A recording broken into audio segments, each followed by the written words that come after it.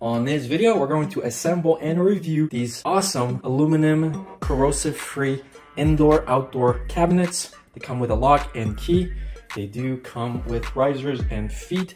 They are perfect for storing pretty much anything that you desire. And they come in different colors, whether it's two-tone or silver, come in different lengths and sizes. Stay tuned for the whole video.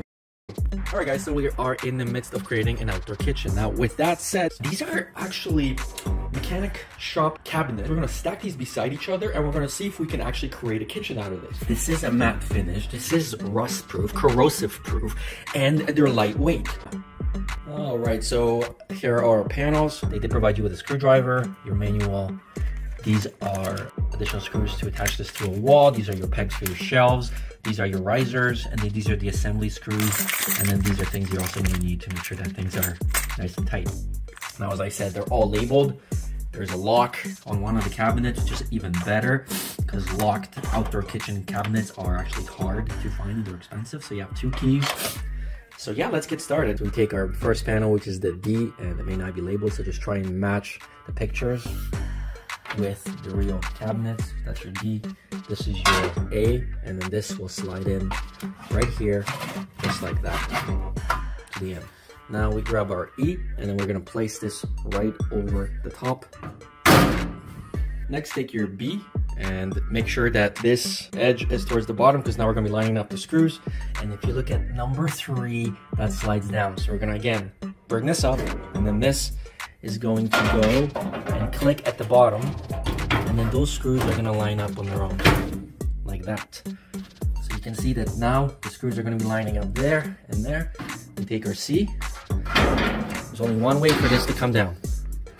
This one's gonna be a little tighter because now you can, there you go. Now make sure once these are in this goes over this and it will lock in place like that so now these two are gonna be conjoined together. Next, let's go and add our screws. We are gonna be using our DeWalt drill and we just picked this one up and I am very excited about this as well. This is the 20 volt max. It's not the latest, but it is the greatest in my opinion. What I really like about this is that immediately the light just turns on.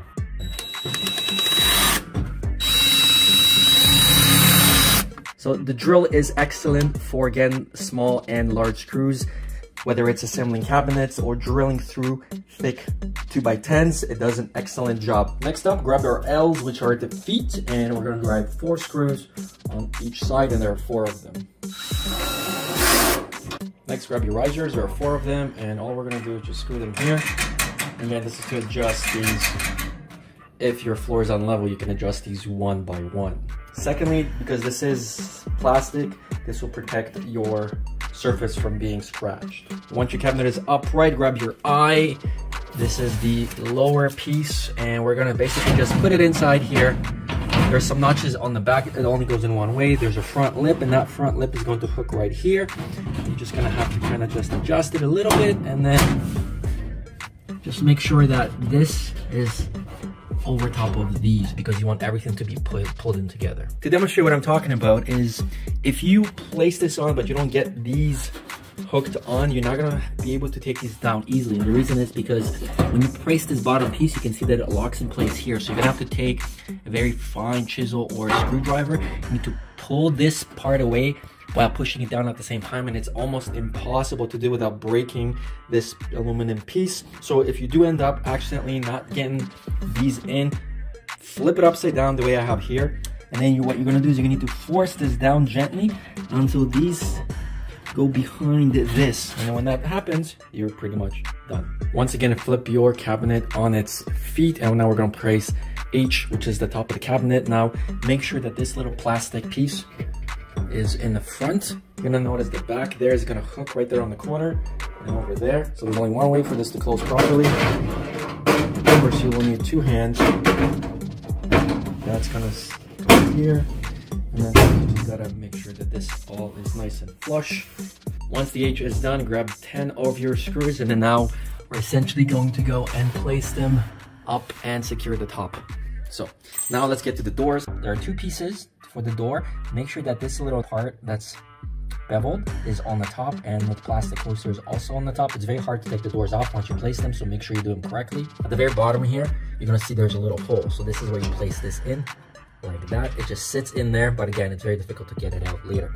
So you place this in here, then you grab your door, and again, there's an F and there's a G. F goes on your left side, a G goes on your right side. So this is F, and if we grab the door, you can see at the very bottom that there are holes.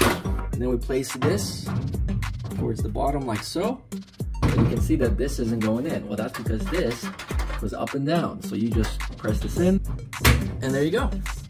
And all of a sudden, you have a working door. And the reason this peg is here is to make sure that this stays flat. Now, you could go and buy yourself some magnets and stick it right over here and here, so then you could remove this and it would remain, but you know, this kind of works for us.